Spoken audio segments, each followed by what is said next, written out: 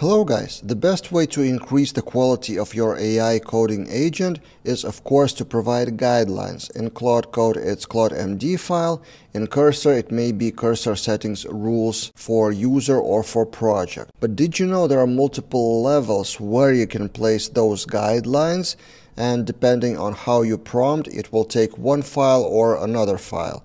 Let me show you examples in Claude Code in Cursor. So let's start with Claude Code. On the official documentation page, probably the most known for us is .claude.md, which is in the main folder of the project usually, the one that I'm showing you on the screen here, which is basically taken into account in whatever prompt of that project. But also you can go one level up and have user memory. In Claude Code it's called memories, in Cursor it's called rules, and generally they are called guidelines or instructions. Confusing, I know. But in addition to that, you may provide Claude Code separately in subfolders like this. So let's make an experiment and test which Claude files are taken into specific prompt. So in general Claude MD I have general instructions for any code, then PHP, Laravel, and testing. So let's divide them into general code instructions I will put into my user file Claude MD. So let's cut, save, and then in the terminal I open my user Claude MD, paste here, and save. Okay, so I have local user level Claude MD.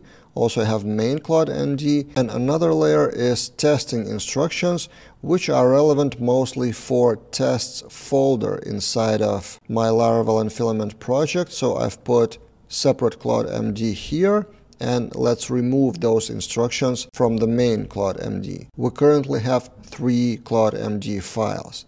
And let's create number four in resources views. For example, new file, Claude MD with instruction of this. So in the blade files, I want to use Tailwind 4 specifically and run npm run build when done. And now let's try to prompt. And this will be my actual prompt, which touches only resources views folder and let's see whether it will run npm run build automatically as instructed in subfolder of resources views. As you can see, resources views Claude MD is mentioned in the plan, do you want to make this edit? Yes. So the edit is successful.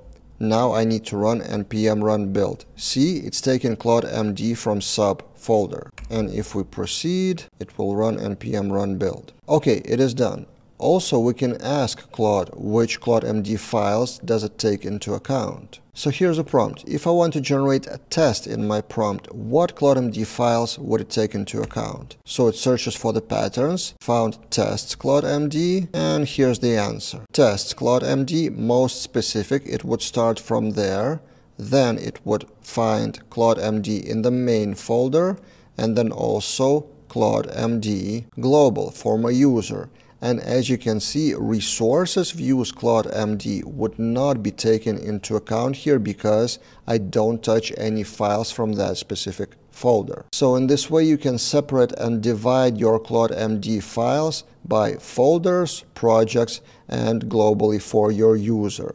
The benefit of that is that the context for the prompt is smaller and likely cheaper, so uses fewer tokens. If you put everything in one Claude MD, then that everything will be passed to LLM each time and would likely be slower or sometimes even pollute the context with unnecessary information. That's why personally I don't like the command slash init which you can run for your project and Claude Code will analyze your project and generate that in it. Let's actually try to do that. But before, let's delete the main Claude MD like it didn't exist. And then run slash init. So it's analyzing the code base. As you can see, already more than one minute passed. So it's analyzing MD files, package JSON, composer JSON, and more tool uses, more lines to read, so it takes time. Interestingly, it found that there's cursor rules, which I want to show separately in this video talking about cursor.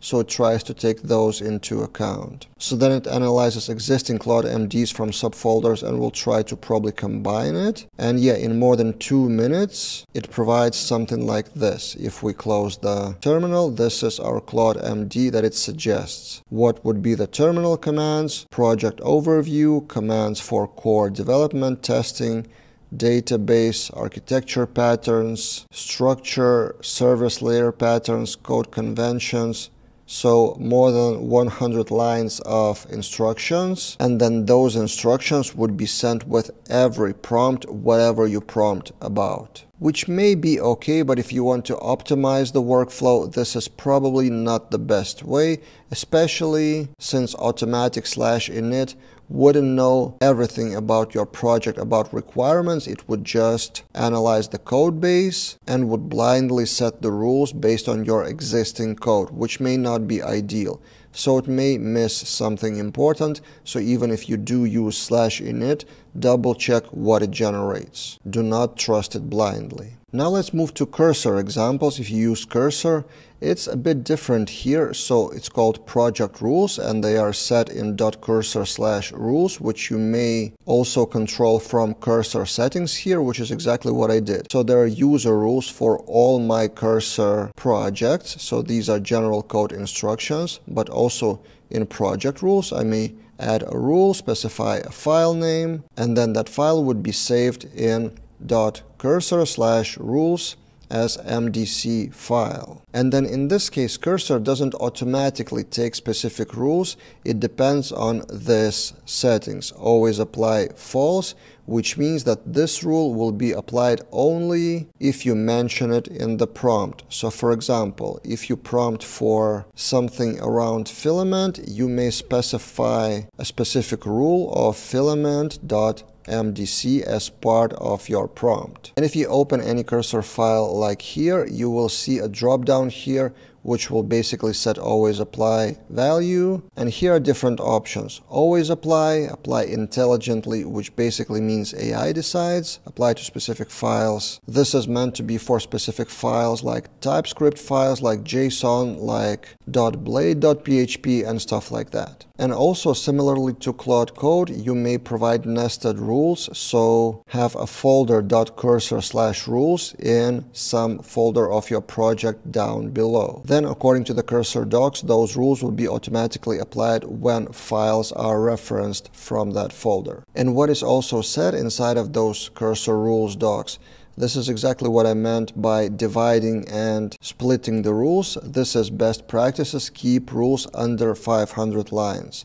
Of course, we generated 100 lines with Claude Code, which is also fine, but basically the message is keep it short. And it's even specifically said split large rules into multiple composable rules. This is in the cursor docs, but I think it's applicable for any AI agent with the context. So yeah, what do you think about splitting those Claude MD and rules files? Do you do that in your project? Or you just put everything into one rules file and go with the flow? Let's discuss all of that in the comments below. That's it for this time and see you guys in other videos.